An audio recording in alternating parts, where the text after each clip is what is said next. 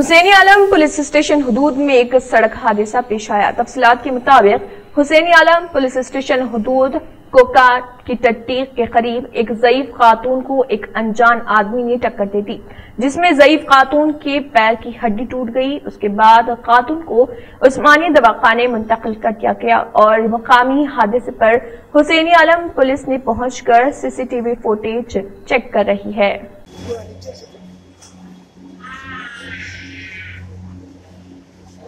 हमें मास्क निकालो थोड़ी देर के लिए।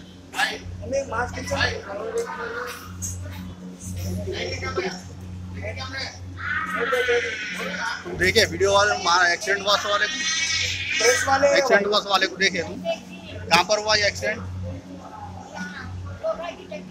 मोबाइल ट्वेंटी पे। कितने बजे का टाइम था? एक बज रहा था। क्या काम से निकले थे? हरा मसाला लाने।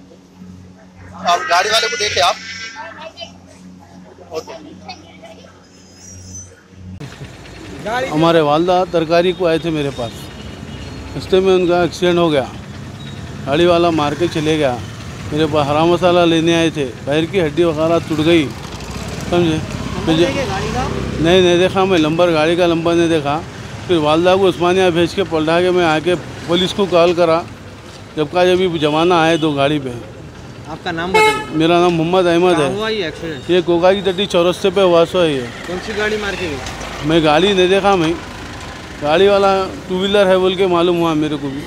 टू टू व्हीलर वाला मारा बोल के मालूम हुआ मेरे सिक्सटी एट सिक्सटी फाइव है मेरी अम्मी। हाँ हड्डी टूट गई पैर की हड्डी टूट गई। हाँ, आपका नाम क्या है सर? मेरा नाम मोहम्मद अहमद है।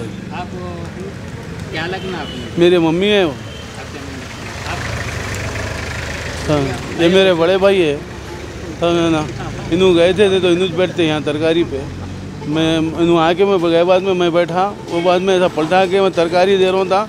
मेरे को आवाज़ दिए मम्मी का एक्सीडेंट हुआ वो तो जब तक उठाने में हूँ गाड़ी वाला निकल के चले।